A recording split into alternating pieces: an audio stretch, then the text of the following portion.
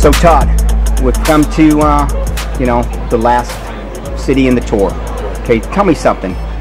The things that you learned and the things that you heard before this tour, um, and now that you've done the tour and learned for yourself, what are the differences? Uh, the differences are uh, night and day. Of course, uh, you know, I heard uh, these women are just wanting to get to the U.S. Uh, somehow take advantage of the man, and uh, then they're out the door. They got their green card. They got their their uh, their, their, their way into the U.S., uh, which is not really the case. Uh, what I've learned now is uh, a lot of the women are sincere. Um, they're just looking for a new life, a new chapter in their life, uh, a start, a start to a, a relationship, uh, a, a long and happy life. Great. So have you, uh, did you meet anyone? Oh, I've, I've met quite a few women, um, very sincere women. Um, uh, uh, many dates, of course, uh, and uh, some some some relationships that I think will blossom. Great.